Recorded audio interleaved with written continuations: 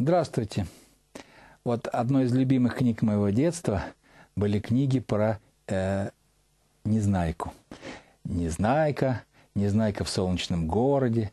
И вот помню, в солнечном городе, где Незнайка был, фактически это такой коммунистический немножко город был, там была очень интересная архитектура. Были дома вращающиеся, они в течение дня совершали оборот. И вот один из персонажей не вовремя пришел к себе домой, был очень чем-то расстроен и попал в чужую квартиру. Вот такая была история с ним. Так вот, оказывается, это автор Носов написал некую, так сказать, пародию архитектурную на самом деле на замечательного нашего художника и архитектора, футуриста. Владимир Евграфович Татлин, вот прошу вас, любите жаловать его, это, э, и когда у нас футуризм был в самом рассвете, это начало 20 века начало новой жизни после Октябрьской революции. Идеи футуристические витали в воздухе, всякие смелые такие вот интересные идеи, они раскрасят ли нам э, все э, деревья на улице Тверской в черный цвет, например, там, или что-нибудь еще, что-нибудь такое смелое, масштабное. И вот у Татлина была идея, э, он, кроме всего прочего, еще был художник, иллюстратор книжный, башня – Башня Татлина. Это э, объект, оставшийся в истории мировой архитектурной культуры. Он реализован не был, но несколько макетов его вот в мире, в музеях существуют, хранятся. Эта башня предназначалась для э, здания, в котором должны были находиться органы управления коммунистического интернационала.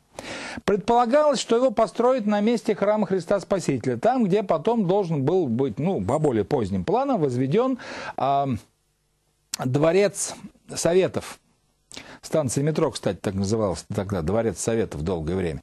Видите, вот такая архитектура очень напоминает по так вот, э, по духу, да, вот эти вот арочки металлические конструкции, напоминает Эйфелеву башню. Но не Эйфелева башня, это точно.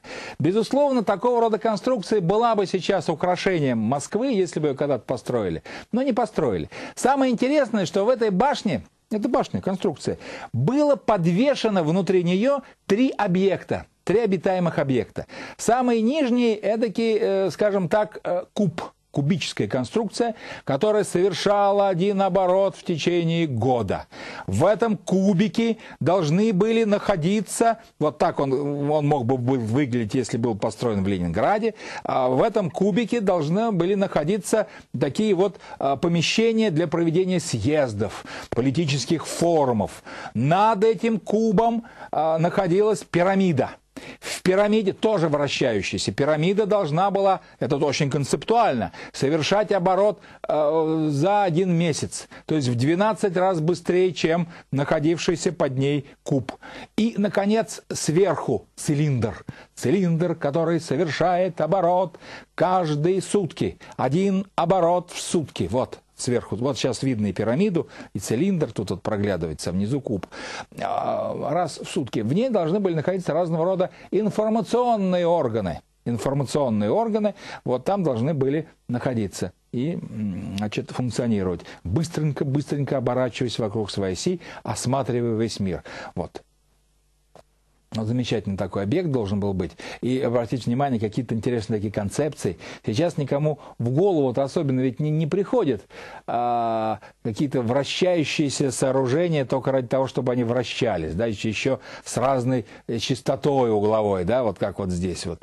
Но, тем не менее, ее еще иногда называют памятник э, Третьему интернационалу, да, вот это вот э, сооружение, башня Татлина, несколько так вот архитектурных фантазии на эту тему видел.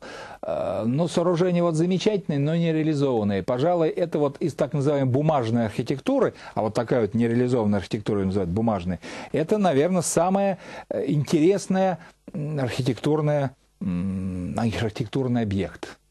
Вот так вот. Спасибо вам большое за внимание. Всех вам благ. До свидания.